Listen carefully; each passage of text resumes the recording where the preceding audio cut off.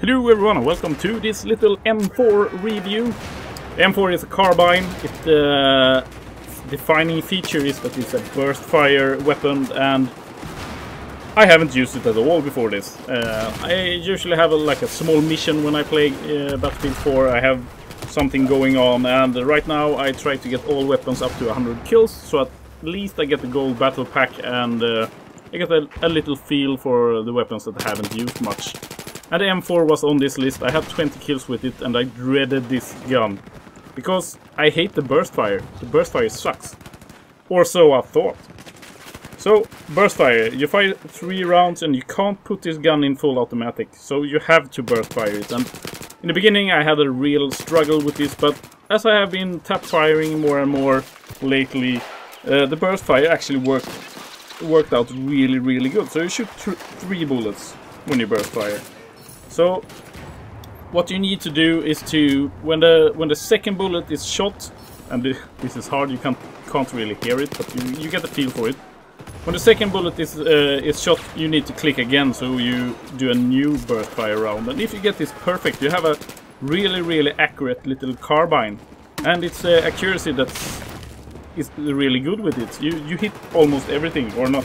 I wouldn't say you hit everything, but I hit way more and I feel it's easier to control while burst firing than a lot of other weapons. And I had some amazing kill streaks with it, where I just ran around and killed everything.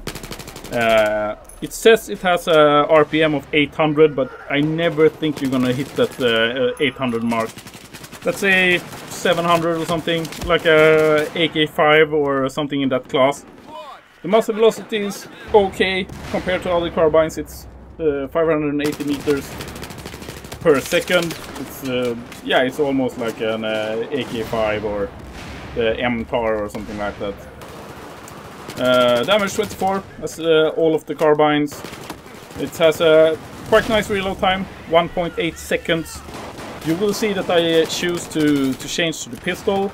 I try to always do this if I have an enemy in front of me instead of uh, continuing to reload because you never know, the, the other guy might also have it. And I used the flashlight on my pistol, which actually blinds people. And I didn't think it would do that, but people had a hard time hitting me when I uh, shot them in the face with the, uh, with the pistol.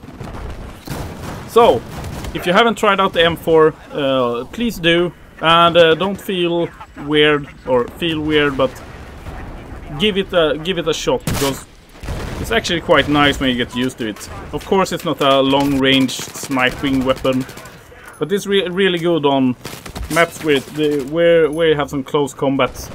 I actually did get quite nice long uh, long range kills with it also, but mostly you will use it on uh, on short range maps or in uh, short range situations. Except here, I have two guys I got away, I shoot the whole mag.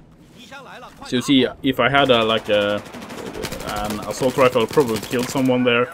But I get both of them with the M4 at quite quite a long range. And that's everything. If you have any questions, please post them below.